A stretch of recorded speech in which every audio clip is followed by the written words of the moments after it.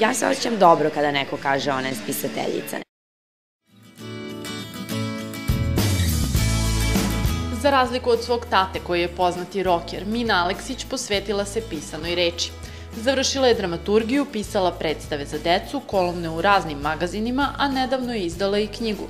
Zbog toga je neki nazivaju srpskom Carrie Bradshaw. Doduše od nje je značajno mlađa. Mina ima 26 godina. Moji kolumne jesu u fokusu na žene uopšte. Govorim i o tim, i o muško-ženskim odnosima, i o prijateljstvu, i o porodičnim problemima, apsolutno o svemu. Tako da, e, eto, mogu biti Carrie Bradshaw. Kao i njena fiktivna koleginica i Mina svoje junakinje vodi kroz razne peripetije na putu ka onom pravom frajeru. Njih tri su tinejdžerke kojima su najvažniji izlasci, lajkovanje i muvanje, a povremeno umeju i da opsuju. Najveći strah mi je bio da ljudi neće razumeti moju poruku, odnosno devo, devojke kojima je knjiga namenjena.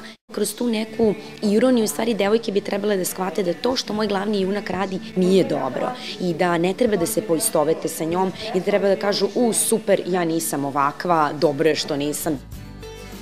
S obzirom na to da u knjizi ima autobiografskih momenta, pitanje koje se samo nameće je kako je opasni roker izlazio na kraj sa udvaračima njegove čerke, milom ili silom. Čovek to nikad ne bi rekao kada pogleda njega na sceni onako sa gitarom kako izgleda kao jedan razuzdani roker, a u suštini je mnogo, mnogo dobar i mnogo onako fin i povučen kod kuće, tako da ne, nikada, nikada nije rasterivao momke u dvarače, nikada čak nije ni rekao, u, ovaj mi se baš ne dopada, tako da zapravo sjajno odrastati s jednim rokerom. Decu poznatih obično prate priče da im je sve u životu lakše jer imaju roditelje koji ih guraju. Nije se to toliko dešavalo, međutim počelo se dešava sada, baš zato što sam izdala knjigu, govori se puno o meni i onda ljudi kažu, a to kao njoj tata pomogao, ne znam, da izda knjigu. Pa ne može biti tako, sedite onda vi napišite knjigu, Mina nam je ipak priznala da to što je tata poznati muzičar ima svoje dobre strane.